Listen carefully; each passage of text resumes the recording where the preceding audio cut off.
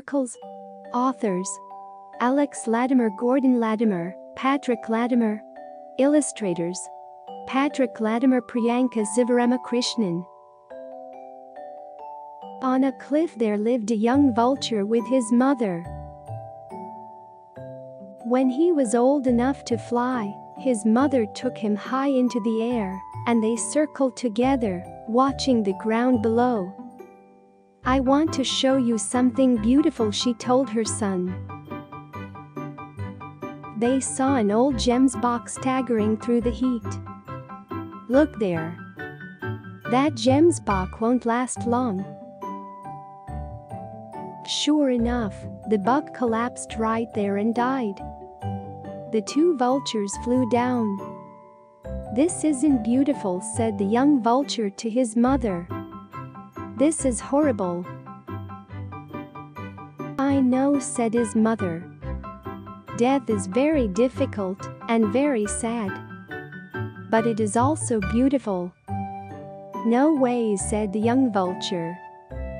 Yuck. Just wait, she said. We will come back here soon and you will see. The next week, they visited the dead buck. Its skeleton was clean and white, and tiny plants had started to grow between the bones. The week after that, the shoots had grown tall and blossomed. A butterfly sipped at the flowers, and a songololo rested in their shade.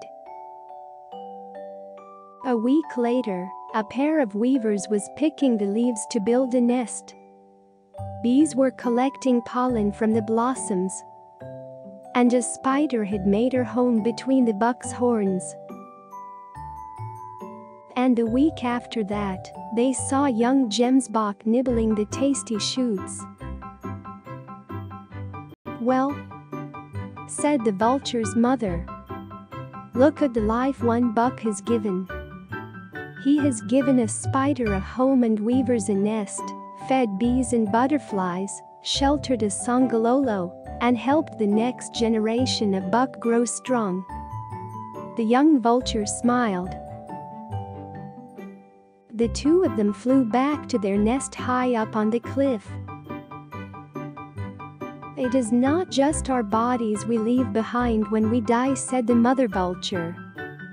We also leave our lessons and our love and our memories. Where do we leave all those things? Asked the little vulture. We leave them in our children and in our family and friends. You are already my green patch on earth, little vulture. And you will be, forever.